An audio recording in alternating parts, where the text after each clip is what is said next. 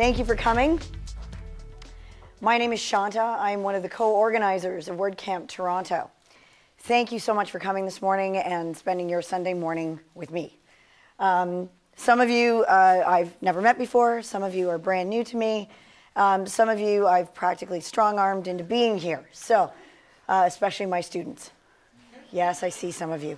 Um, the rest of them, no, they, they don't get extra bonus points. So today we are talking about facets. So this is a brand new talk uh, that I presented at FITC a couple of weeks ago. So um, I would really appreciate any feedback that you have. So let's get started. We're going to try and do not so much a live demo, but much go into the WordPress installation, and I will show you exactly what we're talking about. Um, at one point in the presentation, um, the whole presentation as it sits right now actually has every screenshot that you'll probably need. So when I first presented this, I just literally went through those screenshots. Here, I'll actually try and jump into that WordPress installation. Consider the slides a backup. How's that? So let's get started. So we're going to do a quick about me, uh, a little bit about how to organize your facets and what they are. Um, the tools that I used in creating this presentation, as well as some others, I learned about along the way. This is the beauty about a WordCamp, is that you pick a topic, you go ahead and learn about it, and then you share that knowledge with your community. Um, importing data and setting it up for success, setting up and implementing the facets. If you would like to follow along, um, I have this website here called wilt.rocks. Wilt is what I learned today. So big thanks uh, for those of you who got to uh, meet Suzette Franck yesterday. This was, this was an idea I stole off of her. So she has Wilt and, and then another website. So I, I chose wilt.rocks. So what I learned today, rocks. And then forward slash events. So you'll get to see the front end of it. You'll get to play with it. You just won't get to see the back end of it. So this is me, um, a lot of words. Uh, many of you have already heard much of this already if you've ever attended one of my talks. How many of you, by the way, uh, came to my WordPress thing on Thursday? Whoa, none of them are here. Okay, that's fine. Um, so I'm an instructor. This is what I do almost every day. I am an instructor at Sheridan College, which is in Oakville. And it is a joint program with the University of Toronto at Mississauga. So we get to teach the university guys all the fun stuff, like web design like our capstone course, which pairs our students with real live clients, such as our friend in the front here. So um, I'm also an independent consultant. A couple of weeks ago, uh, my business partner, uh, Justin Howe, and I opened Web Weapons. So we are now in the business of actually making those websites and um, hopefully getting some of our students hired in the process as well. Some of my clients have always included uh, nonprofit organizations. I love working with nonprofits, smaller businesses, real estate, software development, wonderful things. I also have a Bachelor of Commerce degree from in Information Technology from Ryerson University. Um, and I'm a serial WordCamper. I've gone to seven WordCamps in 2014. This is my fourth WordCamp Toronto and my fourth time speaking at WordCamp Toronto. Um, I went to seven uh, in 2014, including New York and Chicago and Los Angeles.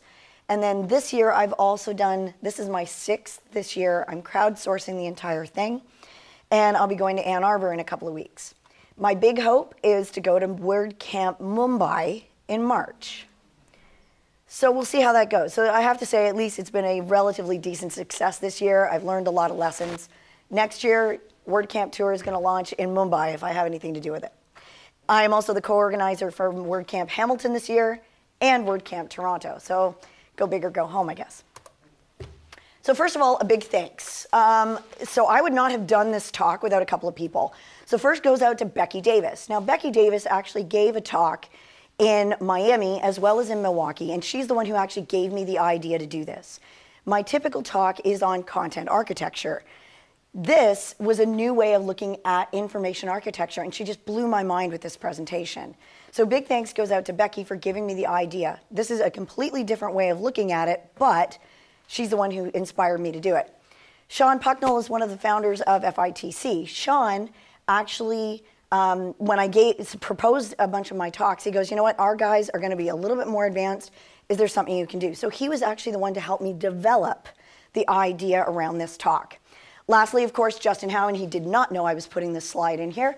Um, Justin actually was the one to help me set this thing up. Whenever I ran into a bug, I'm like, okay, what do I do now? Justin was there to actually help me get through this. So a big thank you to all those. Lastly, for those of you that were at the after party last night, you can tell I was. Um, the, uh, the other thing I know that Chrissy's going to talk about a little bit later on is about community. And I just wanted to give a big thanks to everyone who was there last night. For those of you who didn't know, I had a friend of mine that I just found out passed away yesterday. And somebody said to me, Well, why did you make a toast at the WordCamp after party? And it was very simple. They said, You know, this has nothing to do with WordPress. I said, Absolutely, it does have something to do with WordCamp because I'm around friends. So I consider the WordCamp community and the WordPress community my friends. So a big thanks to all of you who joined in that last night and helped, uh, helped toast uh, to a very good friend.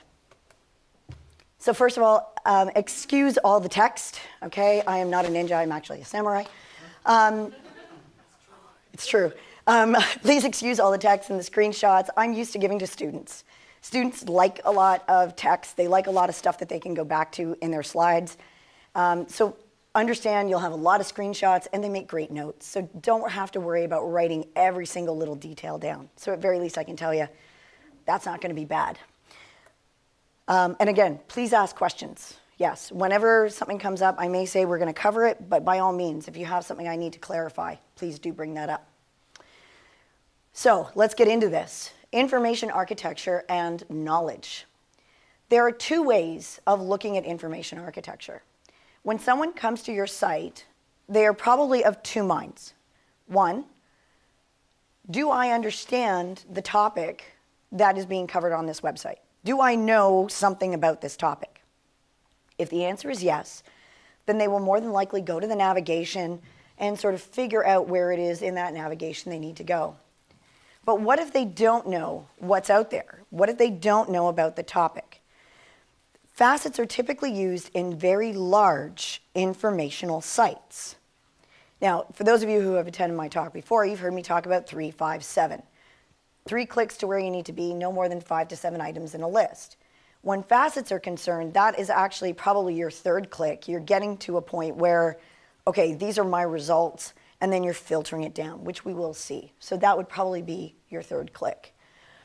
Um, so this is what we're going to run through when we talk about facets. So here are some examples. Amazon. Amazon is a great example. When we go to Amazon, you can search by title, by author, genre, price, department, and so much more. So if we have a look at Amazon.ca. Whoa, I hate it when that happens. Thank you. It's actually a built-in theme, believe it or not, on Windows. Okay, so we are in Amazon. So what do we want to search? Let's search dragons. Okay, so here we are. We are looking at dragons. There are so many things about dragons, especially on something like Amazon. You can look for videos. You can look for um, an LED orb statue. Like you, there's so many, so many pieces to this. But if you look down the side here, and I know it's hard to read, but oh, I'm not sorry about a TARDIS going off in my talk. Are you kidding? That's awesome. You'll see one later. Um, uh, so you have movies and TV, you've got books, you've got shipping options, video format, children's range, book format, and the list goes on. Everything down to price, down to just about anything you can possibly imagine. So if we are looking at dragons, we might go down this list We might look by author, we might look by average customer review. So let's say, okay, you know what, this is way too many options because we've got over a million results. So let's look for dragon costumes. Okay, now we're getting somewhere. Now we have a little bit better idea of what we're looking for. So you could either um, maybe go by children's costume, by cost. Now we're sort of filtering down our options. These on the side, each one of these is a facet. Okay? Each category, if you will, is a facet. Okay? And we'll talk about that a little bit more in the rest of the presentation.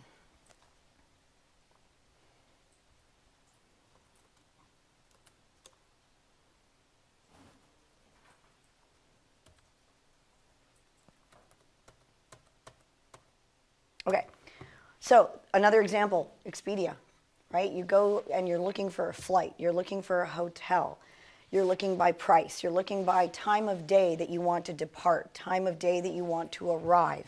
Each one of those is a facet, number of connections, those types of things. Okay? Another great example. Questions so far? Yes. Okay, so would the definition of a facet be um, categories by which a user can drill down their search? I want to be careful about using the term categories only because WordPress uses the term categories. But yes, in a general sense, um, outside of the sort of WordPress um, WordPress categories, yes, I would say so. Criteria. There we go. Yes. Do you differentiate between facets and filters?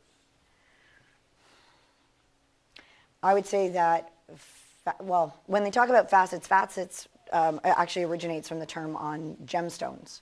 And each way that you look at it is a facet. This is probably what I would call metadata. I, I might even be a little bit off on that, but it, basically, if I turn this same result in a different way, I'm looking at it slightly differently. Am I looking at it by price? Am I looking at it by location? Am I looking at it by that? Um, but yes, it is in essence a, a way of filtering down those. So would I call each one a filter? No, I would call the results the, the filter. I guess my question is more to do with the user experience. Yes. So, uh, to me, facets are the, are, are sort of pure play metadata, whereas the filters are often kind of more hardcore where you can actually reduce the result set instantly through a pull down where you're Yeah, Facets uses um, what they call a flat hierarchy. The hierarchy that I'm used to dealing with is um, a little bit more leveled, which is where that three comes in, right? You have this, then you have a subcategory and a subcategory that leads you down to that result. Here, you could have multiple results and still have um, that have similar traits about them. So I, I'm still I'm still learning that piece of it, and I'm, I'm gonna I'm gonna bulk up on that. Yes. Uh, Just as a suggestion to distinguish categories from facets, I think the use of facets is in the sense of characteristics of things, and that you look at the objects in question and finding their characteristics or facets. Categories is more of a, a scheme you develop to which you apply to a group of things or objects by putting them into categories. So a given object may or may not belong in a given category, but wine, for example, whether it's red or white, will share essentially all the same facets or characteristics. So in that sense, one is a a priori scheme, and another one is sort of derived from the actual data. Great. Yeah, I, I can't top that. It's perfect. use the word taxonomy. No, but. Yeah, no, I'm, I'm trying to stay away from the taxonomy. Yeah, I think of the question of filters, because I run into this constantly in terms of categories and facets. I think filters is better thought of as an action or a transaction in which you reduce some corpus of things to a small, to a subset. And so the filtering process ends up giving you something less than the whole, which you then do something with, record, further search, or whatever. But in that sense, it, people are confused by using the term other than in that context, because you could say that a facet or a characteristic or a category is a filter, but you're really saying that you're doing something to the thing in question to produce some result. Filter is more of a verb. Why, you know, I, Yeah. I, the the other thing is filters are pretty important from a search technology point of view, but this is much more, you know, exactly, exactly. A different way of looking at your information architecture. Yeah. So that brings us to why we're here. Facet WP. Facet WP is a premium plugin for WordPress. It's $79 for three sites at the time of the writing. Dollar, uh, 199, dollar 99, 199 for unlimited sites. Both are per year and include service and updates. And you can find that at facetwp.com. So I went on to this, and I've learned a lot by building this uh, this presentation. So what I'm going to lead you through are some of the the hurdles that I went through and show you because, especially when it is a premium plugin, you can download a 30 day trial, but unless you actually get into it and you actually have a chance to play around with it in that 30 days, you lose that chance. So some people are a little bit weary about going into that 30 day that 30 day trial. So I've spent the money for you. So we can play around with it as much as we want for the next year. So, a lot of words. For the demo today, importing, I used uh, WP All Import. Now, this is the free edition. Um, their premium plugin um, allows you to do many, many more things. But what I used is the WP All Import um, for XML data. Okay, so I actually used the City of Toronto Festival Open Data. So the Open Data crew here in Toronto is going to love me for this. Um, and it is in XML format. So I used this uh, free version, the WP All Import for XML. The paid edition allows for importing and placement of advanced custom fields as well as images. So the free version doesn't allow for that, the paid version does. So that being said, I want to qualify this by saying that the data that I brought in, I have not exactly placed in an ideal situation. What I mean by that is I could have installed advanced custom fields, I could have in installed uh, custom post types and all that other goodness. The problem is, is that with the free version, and the premium is probably well over 100 bucks. I'd already spent the money on Facet WP. So um, what I'm, what I'm going to suggest here is that if you are looking at importing large amounts of data, go with the premium edition, especially if you're dealing with advanced custom fields of any sort and images for that matter. Okay? So what I'm using today, while it may not be the ideal setup in an information architecture perspective, I basically worked with what I've got to get us to a point where I could show you something. Okay? So again, not exactly the most ideal, but certainly decent enough that I can show you a presentation today. I also looked at uh, CSVs. Now, I ex explored and tested WP Ultimate CSV Importer for CSV files. Out of the box, it will import into all the standard stuff as well as advanced custom fields. The data I was working with was XML, so that's why I chose the first one. But I did look at this one, and it will do that right out of the box for free. So if you're dealing with CSV, so much the better. So some other goodness. Um, to keep testing the imports, I kept deleting and recreating the posts. So when I was importing, we're looking at 773 records. Um, every time that created a post. So I ended up with 773 posts. And if it didn't import right, or I needed to change something, or whatever, that's a lot of posts to go through and, and delete, even page by page by page. So I learned about this plugin called Bulk Delete. So if you're ever doing a testing where you're importing, you're exporting, you want to see what the result is, this worked really, really well. Um, and it was out of the box, it's free, it's called Bulk Delete uh, through the WordPress repository. Uh, to do restores, I use Backup Buddy because it is so easy to use. I know that Justin will also say that he likes Updraft uh, Plus as well. So we've been testing both of those uh, in comparison to see how well they do. Um, they also, um, iThemes is the producer of this plugin. They have amazing, amazing stuff for educators. So if you are a, a teacher and or a student, they also have some really great stuff available for students as well as educators. Um, and of course, I use the City of Toronto Festival Open Data. So a lot of goodness, even in addition, even before we even get to Facet WP. So this is what I learned today. See, this is why I did this. So I'm going to jump over to my site on the dashboard. The rest of the presentation is mostly screenshots to guide you through, um, but I'm not going to go through them slide by slide by slide unless my demo dies, um, which is where my backup comes in, but I'll jump to the, to the end as well. Is Al in the room? Okay, no Al Davis, I'm going live. Don't tell him. Okay, so as we go through this, we are going to, first of all, find my mouse. That's where it is. Okay, so, okay, you ready for this? TARDIS. Huh? Huh? See? Told you I was not upset about there being a TARDIS.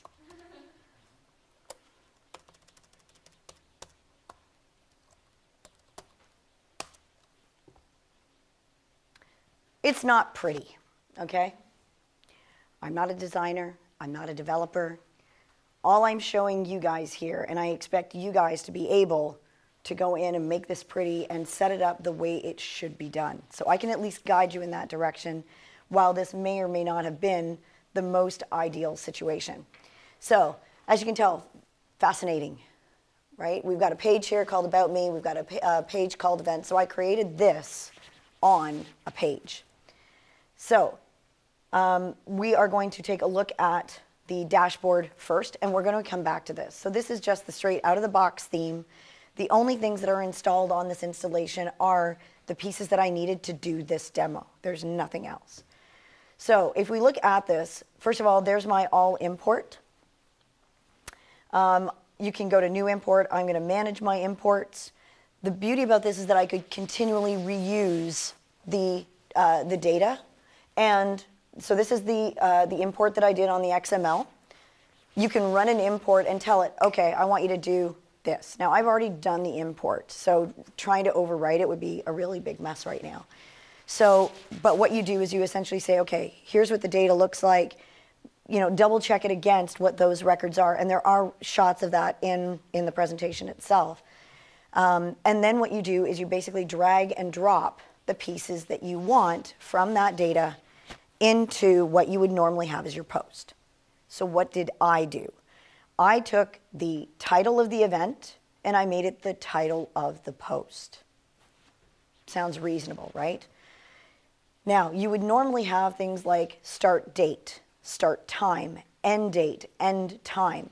Each of those should more than likely be the um, advanced custom posts, right? Or advanced custom fields. Those are not necessarily going to be in your categories or whatever. For this presentation, what I did was I took the category or the type of event according to the XML data, and I used that for my categories.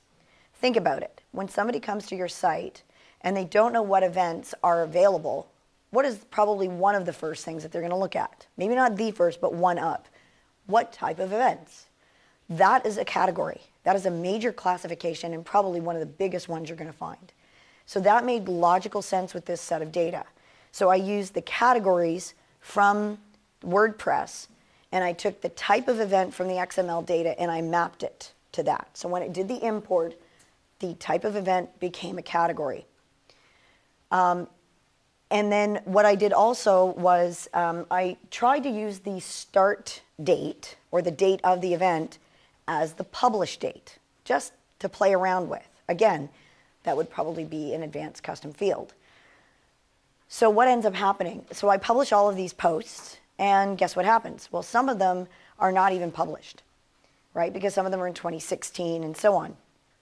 So there is actually a chance on here to randomize your publish date. So you're importing all of this stuff. You're not going to go and set every single date potentially. You may want to do it, you know, minus seven or something like that. And you can actually tell it that. So what I ended up doing was saying, fine, just assign a random date to all of these wonderful posts. Now, obviously, that's not how you're going to do it. I did it for a demo purpose. More than likely, if you've got a list of events, you want those posted maybe a month before or whatever have you. So the lesson to be learned here is this. You better make sure that whatever you are importing makes sense and plan your import long before you even get to facets, right? Keep the facets in mind, but before you even get there, you have to think about what it is that your users are going to need. There were probably over a hundred fields in each one of those records. So I only took a sample of that. What I did was I took the title, as I mentioned, put it into the title. I took originally the date of the event and made it the publish date. In the body, I put the description. So the description that was provided by the event into the body. Um, actually, I'll tell you what, why don't I show you one of those posts? That will probably be a heck of a lot easier.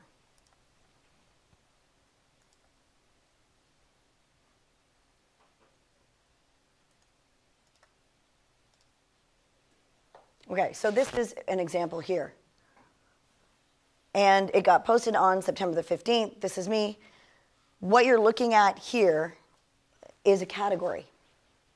So I pulled that from the type of event in XML data, Central West. This is a tag. I did not use this the ideal way. Normally, if you're going to give it a region, that should be put into an advanced custom field. But because I didn't have the premium edition, I went with the tag. Typically, WordPress asks for about five to seven tags. So I am using it not in an average way, but I'm going to use it for our purposes today. So what you've got there is the category, which is the type of event, and I use the tags to tell me what area in the city it resides. The data also contain things like wheelchair access. Is it kid friendly? Is there alcohol being served? Is all those wonderful, wonderful things. So trust me when I say this could be a heck of a lot bigger than it is. So what I chose to do is I chose to put the website of the event into the body as well as what the major intersection was and if there was a description. Okay, and I'm going to show you that back end very, very shortly. So if we go back here, I went into the all import. Once I brought in my data, then you go over into facets. If you go under settings, it's hiding. Okay? So it is under settings and then facet WP.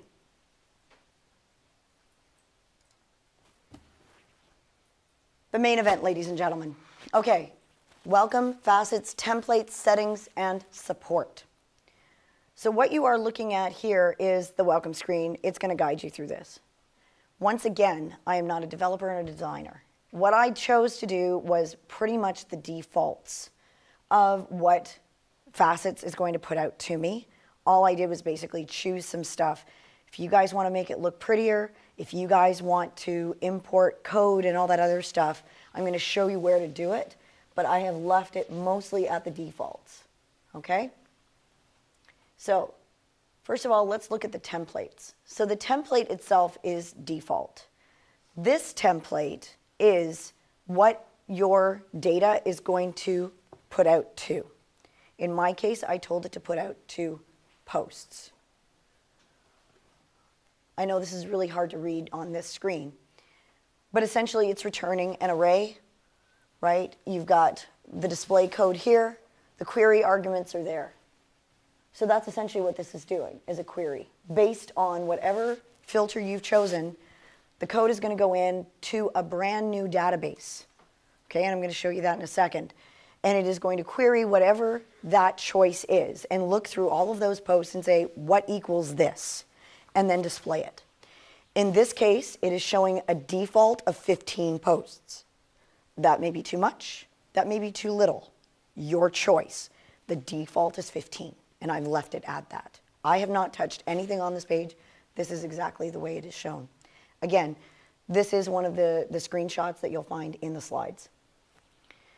So I've left the template as a default. That is actually what is going to display in the results of your search, okay? So I'm going to go back. Now, you'll notice that there is a short code there. And what it says is facet WP template equals open quote default, close quote. That is the short code that you are going to implement on your post or page, whatever your thing is, to display the results. That's what this is for. Make sense? Are there any questions up to this stage? Okay. Now we're going to look at the actual facets themselves. So if I go over to facets, I have created these already. And the beauty is, is you can create almost anything that you want. Again, use your advanced custom fields. Use your images. We're working with a very large data set, but limited options in what we can import them to for this demonstration. So we have different types, and you can actually see on the top, I have an event type which is based on categories in this particular case. That is going to be a drop-down menu. Okay? The second one is by location. Those are check boxes. And for this demo, I imported those into the tags of, Word, of WordPress. The date is actually a date range.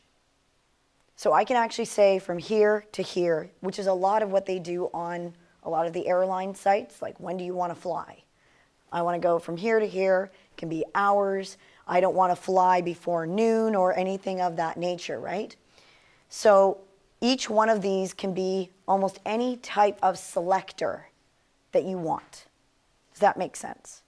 Everything from drop down boxes to check boxes, date ranges, There are so many options. Okay? So let's just see what it looks like. So this is a brand new facet. This is the label here is new facet. We have a checkbox. These are your options. Checkboxes, drop down, hierarchy, search, autocomplete, slider, date range, number range, and proximity. Huge amounts of stuff that you can use with this. Everything from geographic to time to space and time. We can control space and time. So uh, if we look at the data source, you can see where you can pull these from. Everything from your categories to your tags to custom post types, anything you want.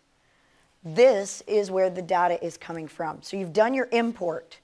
Those are what you're going to pull from. This is looking at your posts or the fields that are associated with those posts and say, okay, this is what I want you to pull on to create those options that someone selects. Um, there are some other settings here as well. Um, I left all of these, when I created this demo, I left all of these to, uh, to the defaults. I haven't changed any of that either.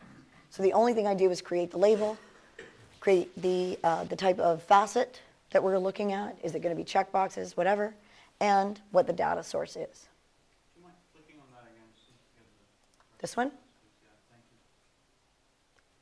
You're welcome. So once I have done all of this, you're going to save the changes. Okay, this is like your navigation menus. And I always say to my students, save the menu, save the facets.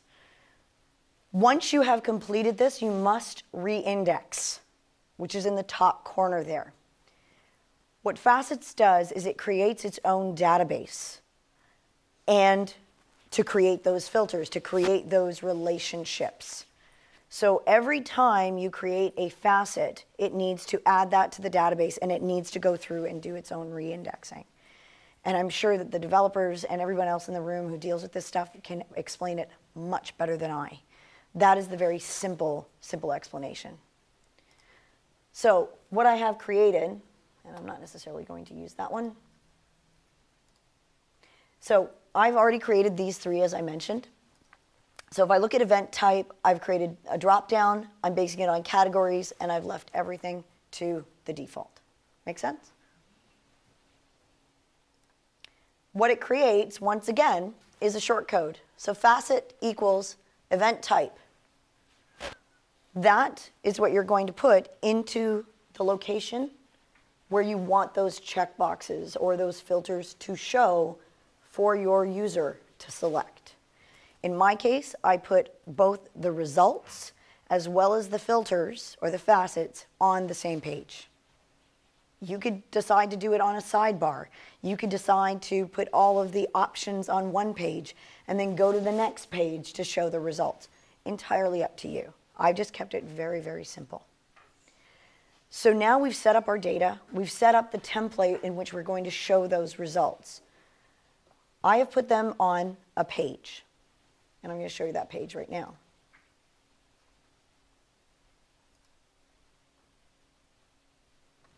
This is your code. So what I've written in is event type.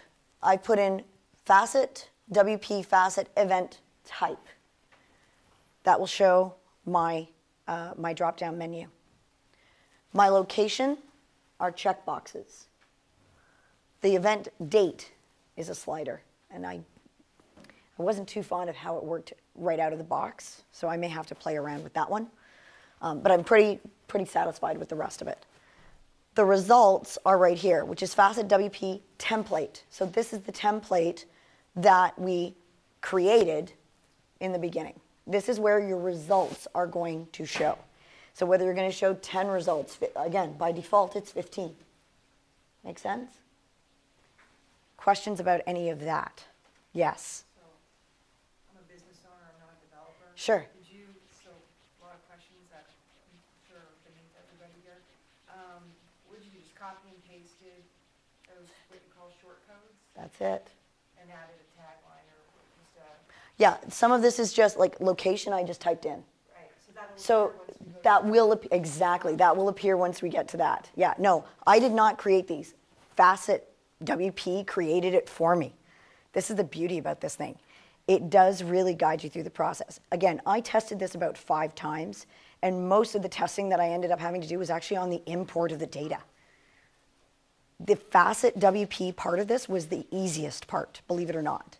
The hardest part of this, other than the import, is actually understanding what makes sense to your users. And at the end of the day, that's what this is all about. What makes sense to you as the business owner to guide them through that path to get to what they want, right? How do they get to buy your stuff, right? That's what this is all about. So, in ultimate reality, this Facet WP was actually the easiest, easiest part of this. You got a question? Yeah, I think I missed something at the beginning. How do you, what do you mean by imports? Like, what are you importing? You're not just like posting posts or something? So in my case, because I didn't want to go through and create all of those posts, I actually used the open data from uh, City of Toronto. And it was all of their festival data, so that's what the all import was for. I had that create 773 posts. Then you jump over to Facet WP and then you go, okay, now I've got all of this stuff. How do I guide my users to a particular event? So I chose categories. That's the type of event. I chose uh, the event date. Maybe we're looking at what happens in October. Oh, look, WordCamp Toronto. Um, the location. This may be in your neighborhood. So this is actually divided by Central East, Central West, all those kinds of fun things. Question at the back. This is all around like uh, we uh, some maybe questions in the smart, but uh, uh, I uh, have a e-commerce business, so uh, but the user go and input they log in, they put their data. whatever. So can I and then from the would be in this case with Amazon, something like that. So if they in, input the data, those data will uh, can be connected with this plugin to be okay all the all the red products. Okay. So, so the question is, is about uh, e-commerce, right? You have so an, you have an e-commerce site that where they log in, and you're wondering whether or not this will tie in with that. My first answer is probably yes. I'm about 90% sure that that is. How it happens it is above my head. but I'm sure that there, are, I trust me when I say there are plenty of people in the room who can probably answer that better than me. But that's exactly what this is supposed to be designed to do. All this does is provi- provides that faceting. That's all this plugin does, and it's great. It really is great for just that kind of purpose. To tie into e- e-commerce, I'm quite sure that that is exactly what this is probably uh, meant to support. I just don't know what the answer is. Question here. One of the facet specs was hierarchy, so I'm assuming that means it supports nested taxonomy. That's a great question. I believe it does. While, while I have not researched it myself um, about nested, tech, uh, nested taxonomies, I do recall making a, a reading in my research about it and that this is capable of doing it, but I'm, it's uh, beyond my knowledge at this point. Sure. Um, so with the checkboxes, you can have multi-select, right? Even Yes. in your case, it just displays, the other options disappear, I guess, because each one Right. was only associated with. So But Can you have an and or an or? Does it tell you? I believe that there is a way to do that, yes. I, So I'm pretty sure. Narrow down or actually broaden the. Yeah. Well, I mean, ideally, what you want to do, and, and yes, there are some cases where you're going to do that, especially when you're going to something like Best Buy and you want to see microphones or you want to see this or you want to see all of those types of things. So, yes, I'm quite sure that it does. I haven't tested it, but I'm sure that there is an actual way to do it. Any other questions? So, let's see what this now looks like. So, this is what I typed in. This is the title of the post. This is what I typed in. This is our drop down menu that we created from the type of event.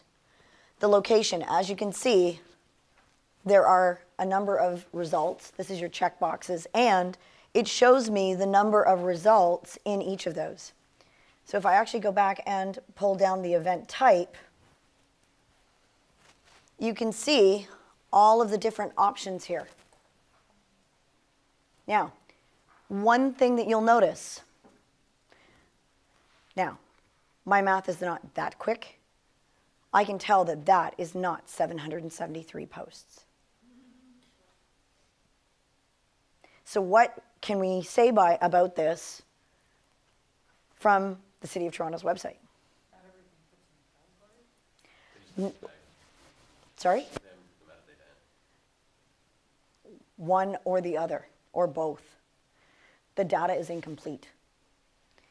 So think about it this way as somebody who is providing this type of information, again, this is the lesson I learned, one of the biggest lessons I learned from this, is that not everything had an associated category with it. So if you're creating this data, think of how many events are now going to be missed just by doing this. So, as the creator of that event, it is your, uh, the onus is on you to really provide that. It is also the responsibility of the curator of that data to input it into that kind of thing. And you're right, maybe the event people decided not to use it. Now you see why they should have, right? Obviously, it is supported in the data set from the City of Toronto, but maybe that wasn't provided. It's really up to the City of Toronto to say this is a mandatory field, whatever it is, even if it is other, right? But just give me something. You had a question, sir. Well, actually, probably not anymore, because I was gonna say it's ten, so maybe there's a setting in WP, in facet WP to display only ten, but since it only goes down to, um. Oh, no, sorry, the, the, the, the result of 10 was, was the, um, was fifteen, yeah. was 15, yeah. So if we are looking at all of these wonderful things here, I like film. Okay, so let's go to film. Now, notice what we've got here. We've got 330, I haven't chosen anything yet. 330, 191, blah, blah, blah. Okay, there are four events in film. Keep your eye on the location.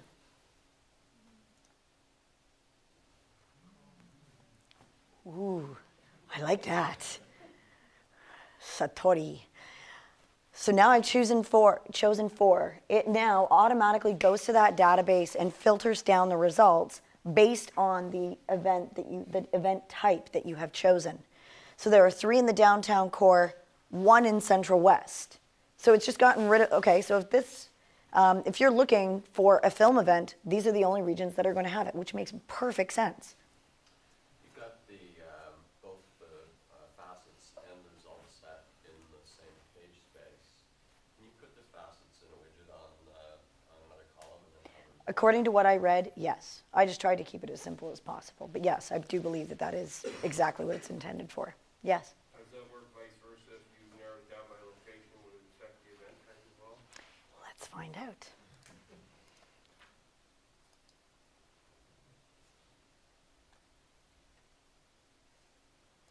Let's choose northeast, only because there's eight and we're probably going to be able to see it.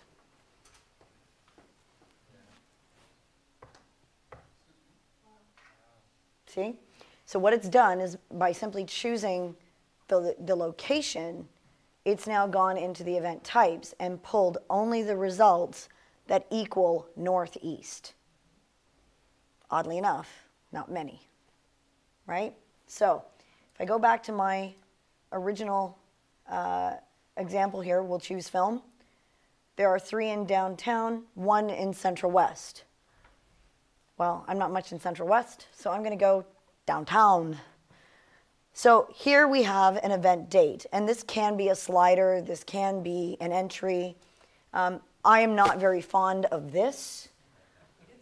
It is ugly. It is ugly, but it works.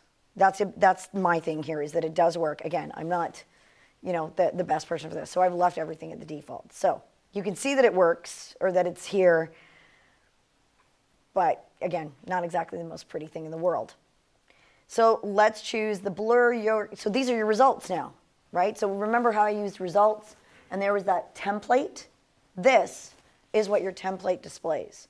So if you want to change how these results are shown, maybe by number, maybe by something, whatever that thing is, so you go into the template part of Facet WP, and that's where you make your changes. Whether it's 15 results, whether you want to show them on a different page, all that stuff.